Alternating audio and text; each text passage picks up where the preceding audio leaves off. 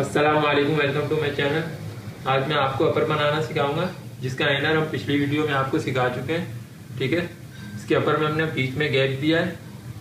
चले यहाँ देखते हैं किस तरह तैयार किया हमने ये। ये पौने दो गज हमारी नेट है, बड़े अर्स की नेट है, ठीक है? और पाव गज हमारा डोरी पाइपिंग का कपड़ा है।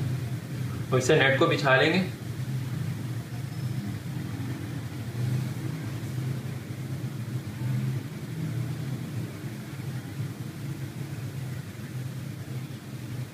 सीधा साइड हम अंदर रखेंगे।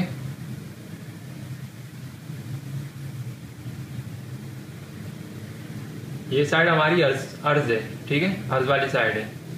और ये साइड हमारी खड़ी साइड है, ठीक है? इसी तरह हम बिछाएँगे। ये अर्ज़ वाली साइड ज़्यादा खिंचती है इसकी नेट की ना तो इसी साइड हम बिछाएँगे, इस तरह खिंचता नहीं है नेट ज़्यादा।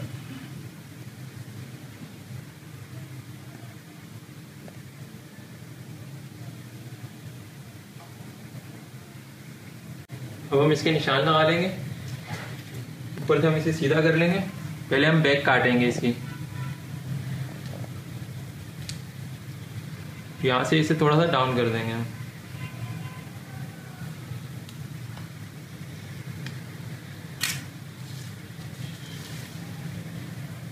यहाँ से हम इसे साढ़े सात इंच पे निशान लगाएँगे। और वेस्ट का निशान पंद्रह इंच पे। और इसकी लंबाई का निशान हम थर्टी एट इंच पे, अड़तीस इंच पे। ठीक है? अब हम इसके निशान सीधे कर लेंगे, ठीक है? ठीक हम इस पे निशान लगा रहे हैं, लेकिन निशान नज़र नहीं आ रहा, चौक नज़र नहीं आ रहा, ठीक है? ये नेट है ना तो इस पे नज़र नहीं आता इतना खास मुझे हल्का हल्का नज़र आ रहा है, लेकिन आपको वीडियो में नज़र नहीं आएगा, ठीक है? तो इसे आपको ऐसे ही समझना पड़ेगा, जैसे मैं मुँह से बता रहा हूँ ना, क्या इतना रखना होगा। चेस्ट इतना है, ये लंबाई इतनी है वेस्ट इतनी है? ठीक है? तो इसका हम निशान सीधे कर लेंगे।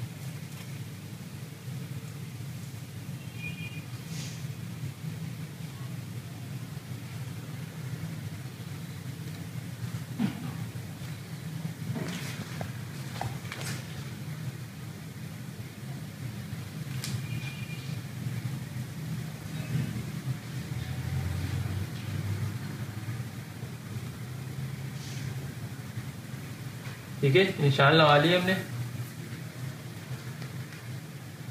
अब हम इसके निशान लगा लेंगे।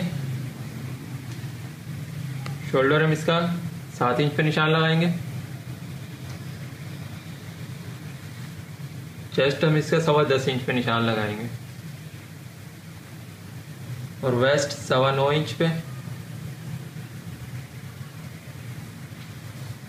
और इसके घेर का निशान हम इसका लगाएँगे। साढ़े ग्यारह इंच पे। ठीक है? अब ये निशान हम सीधे कर लेंगे।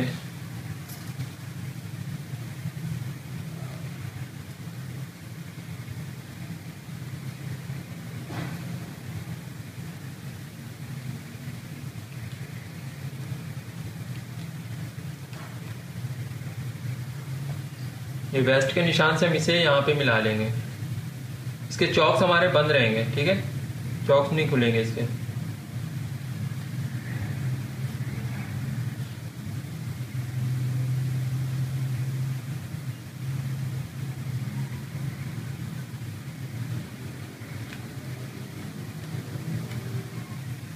निशान लगा लिया हमने। अब यहाँ आर्मोल का शेप दे देंगे, ठीक है? ये हमारी बैग है फ्रंट नहीं है। तो हम बैग के हिसाब से इसका शेप देंगे। इसकी हम कटिंग कर लेंगे।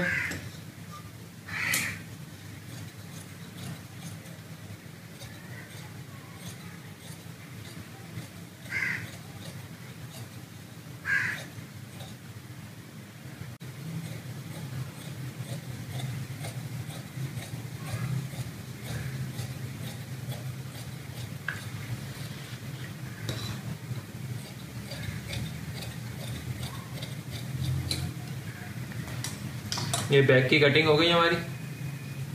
ठीक है? अब हम बैक हटा लेंगे। फ्रंट हम इस तरह बिछा लेंगे। ठीक है? जो कपड़े का साइड हमारा नीचे था, वो अब ऊपर आ गया। ताकि हमारा कपड़ा भी जाए ना और हमारा फ्रंट भी बन जाए। अब अब हम बैग को इसके ऊपर रख देंगे। ठीक है? सेट कर लेंगे।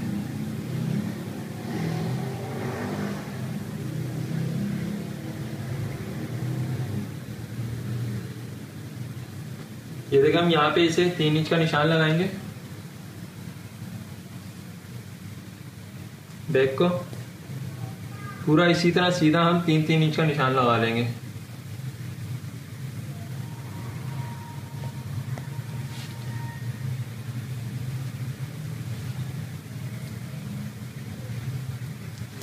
अब ये जो हमने निशान लगाया है, ठीक है? ये हम फ्रंट का ये साइड, ओपन साइड, इसी निशान पे रखेंगे। इसके बराबर नहीं रखेंगे बैक के, ठीक है? ये देखें इसे हम इस निशान से मिला लेंगे।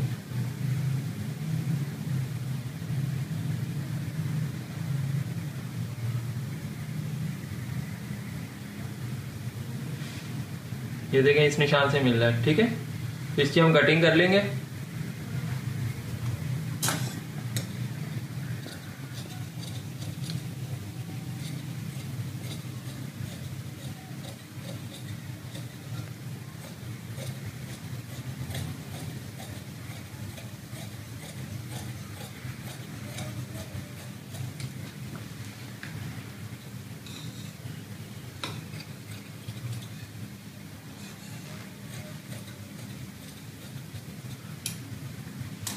ये हमने फ्रंट की कटिंग कर ली।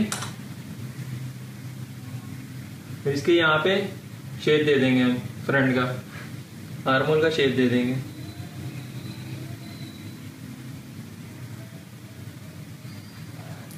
इसकी हम कटिंग कर लेंगे।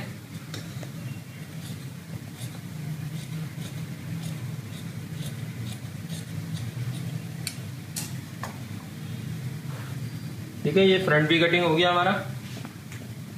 अब हम इसे हटा लेंगे। अब हम स्लिप्स कटिंग कर लेंगे।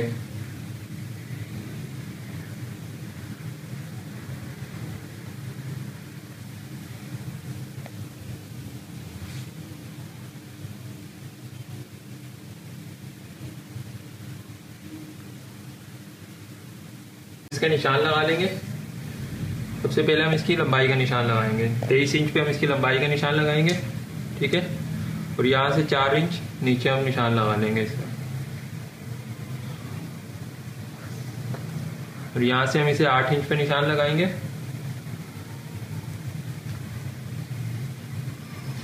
और मोरी का निशान हम इसका पाँच इंच पे लगाएँगे। यहाँ से यहाँ तक हम इसे सीधा कर लेंगे इस तरह।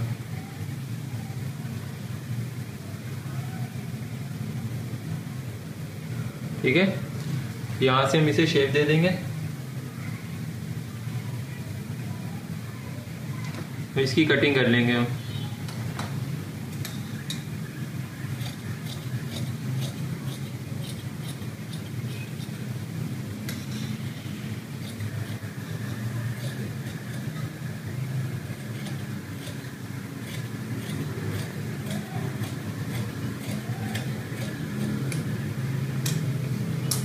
स्लिप्स की कटिंग कर ली हमने।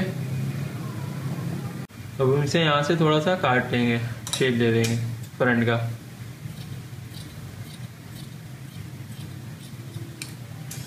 ठीक है? ये स्लिप्स कट गई हमारी। हम स्लिप्स हटा लेंगे, ठीक है? और सिल्क की हम पट्टियाँ काट लेंगे, डोरी पाइपिंग लगाने के लिए।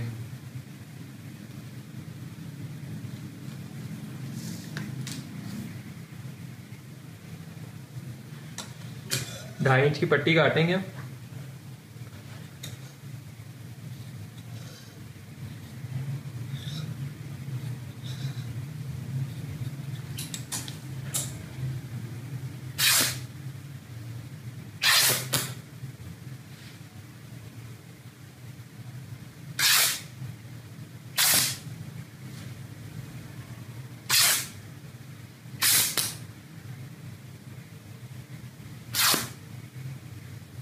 अब इन पट्टियों को हम सीधा कर लेंगे प्रेस से। जोड़ लेंगे हम, ठीक है? सब पट्टियों को। ये देखिए मैंने पट्टियों को प्रेस करने के बाद जोड़ लगा दिया आपस में, ठीक है? अब हम ऊपर की साइडें बंद कर लेंगे।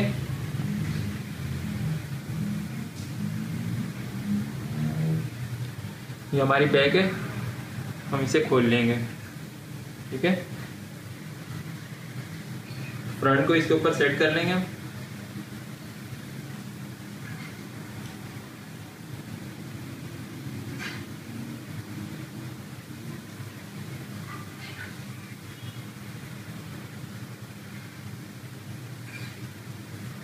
इसको यहाँ साइडों की सिलाई लगा लेंगे और दूसरी साइड पे भी सिलाई लगा लेंगे, पूरा नीचे तक। ये शोल्डर पे हम अभी सिलाई नहीं लगाएँगे, ठीक है? हम साइडें बंद करके, पहले यहाँ पे सारी पाइपिंग लगाएँगे ओपन में और नीचे गेयर में, ठीक है? बाद में हम बैक में पाइपिंग लगाएँगे। ये मैंने साइड की सिलाई लगा दी इसकी, ठीक है? अब हम इस पर पाइपिंग लगा लेंगे।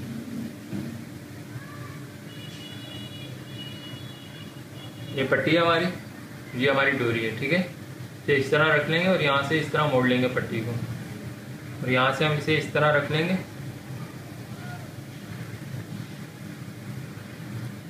यहाँ पे हम इसे सिलाई लगा लेंगे हाफ़ बोर्ड से, ठीक है? पूरे ओपन में और पूरे घेर में हम सिलाई लगा लेंगे, पाइपिंग लगा लेंगे। ये देखिए, यहाँ पे मैंने पाइपिंग लगा दी, ठीक है? तरह घुमाते हुए मैं इसके घेर में लगा दूँ, ठीक है?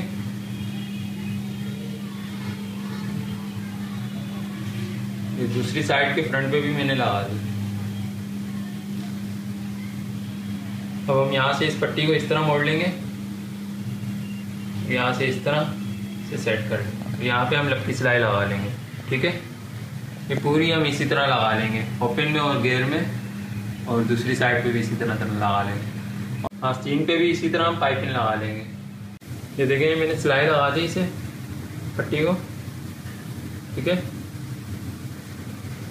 ये देखें, ये नोक बनाई। यहाँ पे मैंने टांके लगा दिए दुरपाई से। ठीक है? और ये दूसरी साइड पे भी मैंने टांके लगा दिए। ठीक है? और इसके शोल्डर जोड़ लेंगे।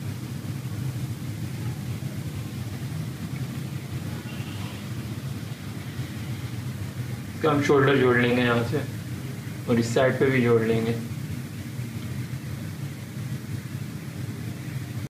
शोल्डर जोड़ने के बाद हम इसकी आस्तीन आस्तीन की भी सिलाई लगा लेंगे।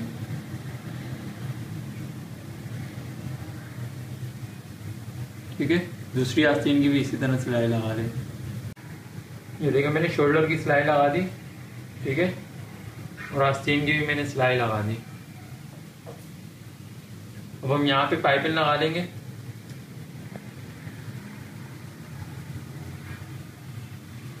इस पट्टी को यहाँ से हम इस तरह मोड़ लेंगे, ठीक है? यहाँ पे पाइपिंग डोरी इस तरह रख लेंगे। और ये जो हमारी पट्टी लगी हुई है पाइपिंग, इसके साथ इस तरह हम रख लेंगे। और यहाँ पे हम लपकी सिलाई, यहाँ पे सिलाई लगा लेंगे, हाफ़ बूट से, ठीक है? यहाँ पे लाके हम इसे पट्टी को यहाँ से काट के, जैसे यहाँ पे हमने मोड़ के लगाई है, उसी तरह यहाँ पे इसी तरह मोड़ के पक्का कर देंगे हम यहाँ पे। इसे सिलाई लगाने के बाद फिर हम दूसरी सिलाई भी लगा लेंगे, जैसे इस पट्टी की हमने लगाई हुई है। ये देखिए, मैंने यहाँ पे डोरी पाइपिंग लगा के पट्टी की दूसरी साइड पे भी सिलाई लगा दी मैंने, ठीक है? और इसकी स्लीव्स लगा लेंगे। इसे हम सीधा कर लेंगे सिर्फ़ इसको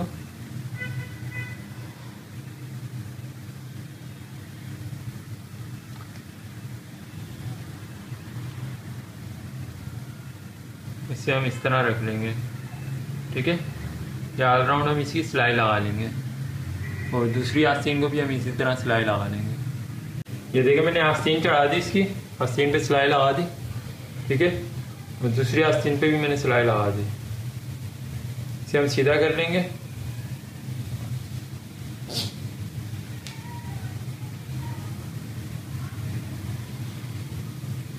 ये हमारा अपर तैयार हो गया।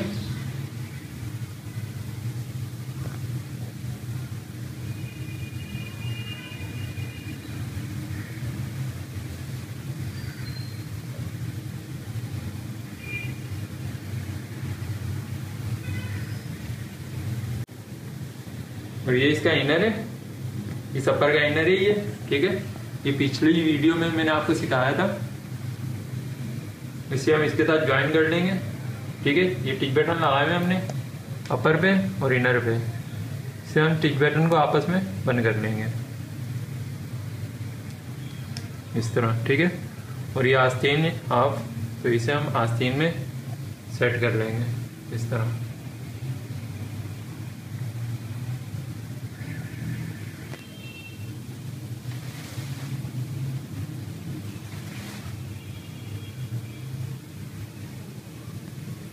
ये देखिए, हमने अपर के साथ इनर को सेट कर लिया, ठीक है? ये अब हमारा अपर तैयार हो गया।